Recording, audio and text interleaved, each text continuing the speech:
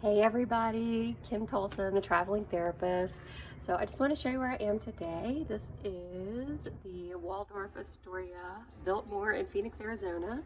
This is one of the properties on our travel club called Inspirato.com. So we get about, I don't know, 10, five to 10 days a month in these luxury properties. So this is one of them I wanted to show you. But today I wanted to come in and just give you a travel tip about always having a rewards card, credit card. This is my Hilton Honors uh, benefits package that I get while I'm staying here.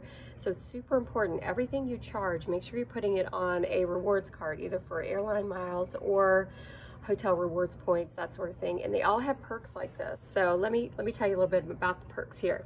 So this is the Hilton loyalty benefits for this property we're staying on. Um, I'm a gold member. I think I pay $85 a year to be a gold member and have this credit card. Uh, these are just some of the perks that you can see. 10% off spa services. We get a one tier room upgrade every time. Um, we get, what else? Premium internet access.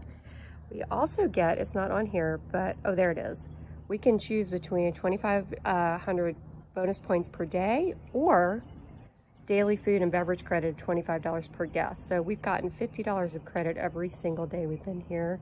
Uh, we, we both have breakfast in the mornings. That's about 100 bucks because it's expensive, but it's all comped. So just wanted to share that with you. Just wanted to give you that travel tip that travel, credit cards, bonus points, miles, it all adds up. So anything you're buying or purchasing, put it on your rewards card and you get bonuses like this. Okay, have a good day.